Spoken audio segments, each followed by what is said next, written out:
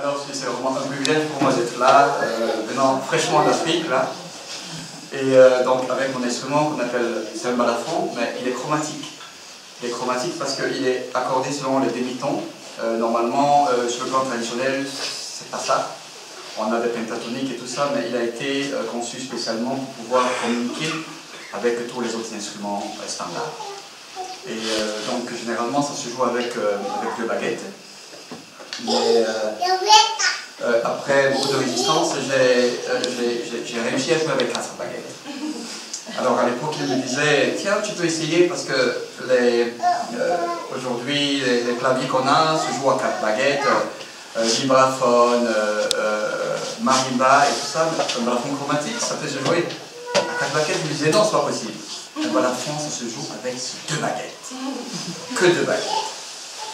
Il me dit non, essaye, essaye, essaye. Bon alors, on va essayer ça. Alors petit à petit, je me suis mis à quatre baguettes. Et c'est comme ça que grâce à Cyril, je peux jouer aujourd'hui à quatre baguettes. Et je peux même partager cette science, si on peut appeler ça comme ça, cette technique, avec beaucoup d'Africains qui jouent de plus en plus de avec quatre baguettes.